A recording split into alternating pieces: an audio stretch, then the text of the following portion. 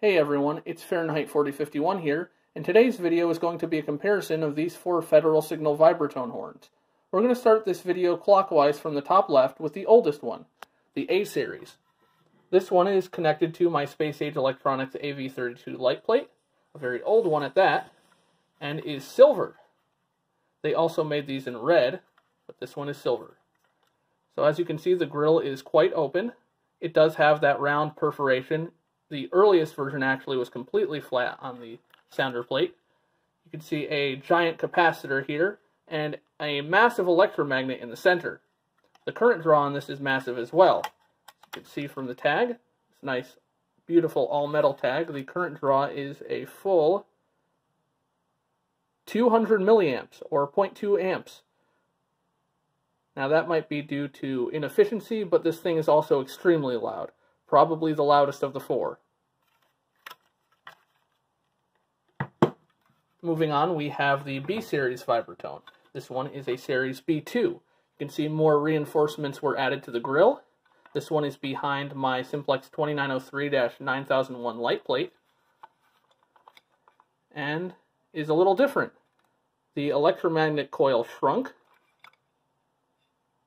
The hammer can be seen more easily. There's a bit of a gold tint here. Not sure if that's due to oxidation or some special coating. And there are two wires sticking out. You can see the tag right here. This is labeled as the 2901-9806 by Simplex, and this one only draws 63 milliamps. Um, so that is about it for this horn. This horn is also very loud, almost as loud as the A series, but probably not quite so I would say the horn's probably a more efficient consumer of power. Now these are also B series vibratones. This is a series B4, as is this one. This one has the original Federal Signal tag, whereas this one is labeled a 2901-9806, just like this one. Sorry for the change in lighting as some clouds decide to roll by, but these two are newer. They're both B4 series, which can be distinguished from the B2 by this cross-shaped additional reinforcement here. These are newer, as you can tell by the glossier finish and unpainted sounder plate. But the B4 was actually introduced at the same time as these B2s, so you'll see some B4s that have this color scheme and some B2s with this color scheme. So it's just an option that Federal Signal offered for additional protection. Knock on metal there. Now, this one has the original Federal Signal label, whereas this one, you've probably seen it before, is another 2901-9806. Another distinction is that this one only draws 35 milliamps versus the 9806, which draws 63. So Federal Signal offered both of these options at the same time, the low current draw and the high current draw. The high current draw was, of course, louder, and the only one that was offered by Simplex though Federal Signal offered both versions simultaneously. I think this was introduced slightly later. I don't think that there were ones that are as old as that one that had the low current draw option. But I digress. Now, this is also a horn strobe with a series VALS, or rather model VALS, or VALS Visalert strobe. Series T1, I'm not sure if you could see it with the poor focus of the camera.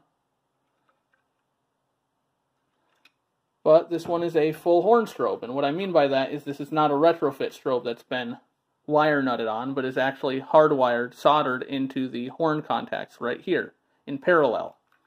Now the difference between these and Wheelock's 7002T is that this strobe, if I were to cut the contacts and run it separately, it would actually work.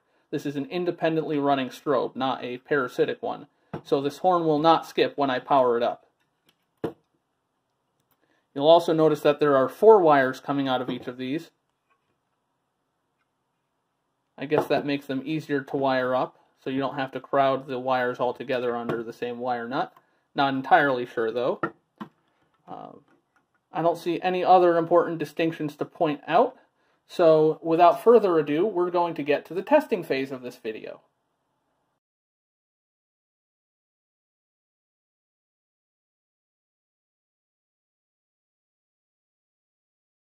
you